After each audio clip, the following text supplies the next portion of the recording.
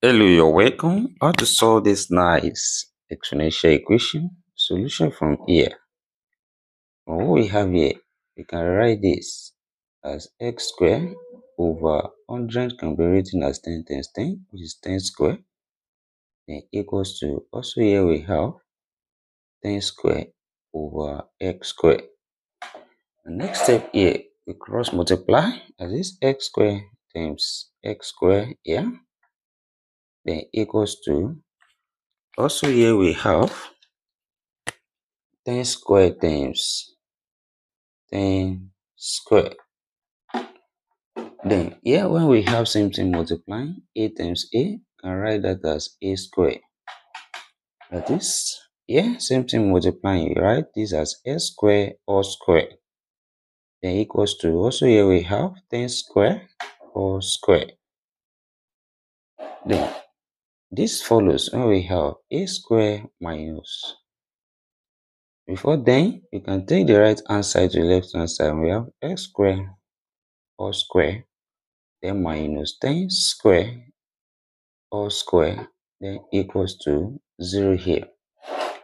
That is, when we have a square minus b square, which can be written as a plus b into bracket, open bracket, a minus b. That is, here a standing as x square and b standing as 10 square. Then what we have here becomes x square plus 10 square close bracket also open bracket x square minus 10 square close bracket then equals to 0 here.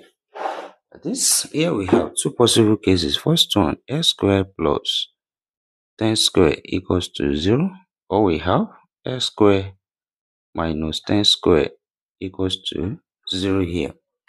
Then solving on this side, this follows on we have a square plus b square which can be written as a plus bi into bracket also open bracket a minus bi.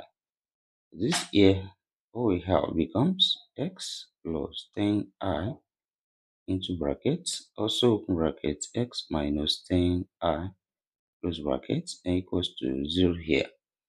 This here also we have two possible cases x plus 10i equals to 0 or we have x minus 10i equals to 0 here. Solving on this side, this gives us x equals to minus 10i which is a complex solution here. And also here we have x equals to 10i which is also a complex solution here, making two complex solutions from here. Then solving from the second case here, x square minus 10 square equals to 0. This also follows when we have a square minus b square, is same thing as a plus b into brackets, open bracket a minus b.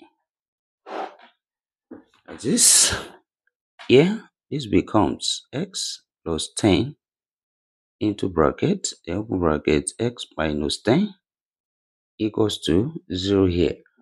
Also, we have two possible cases. X plus 10 equals to 0 or we have x minus 10 equal to 0 here. And solving here, this gives us x equals to minus 10, which is a real solution here. Also here we have x equals to 10, which is also a real solution here. At least we have two real solutions and two complex solutions, making four solutions together. Then let's write it out. One after the other. That is, yeah, we can say x1, the first solution, x1 equals to 10, then x2 equals to minus 10, x3 equals to 10i, and x4 equals to minus 10i. So we have these four solutions here, two real and two complex solutions. Now let's check if this satisfies this given problem. That is, substitute the value of x here. When x equals to 10, this equation becomes 10 square over 100. This Is equals to 100 over 10 square? That is 10 square, that's 10 times 10, which is 100 over 100. Is it equals to 100 over 10 squared, which is also 100.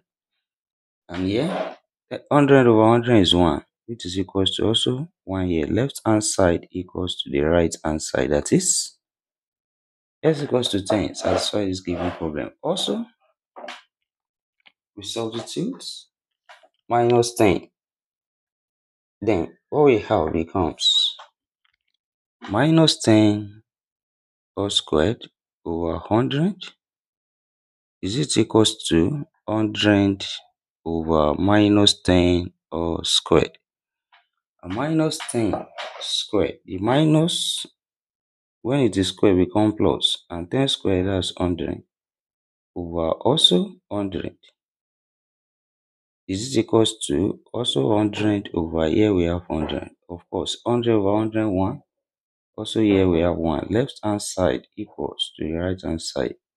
That is minus 10 as well satisfy this given problem. Then substitute 10 high into the equation and what we have becomes 10 high all squared over 100 is it equals to 100 over 10 high all squared. And when we square this, the square will affect 10. We have 10 squared, then times also high, that's i squared over 100. Is it equals to also here we have 100 over this also becomes 10 squared times i squared.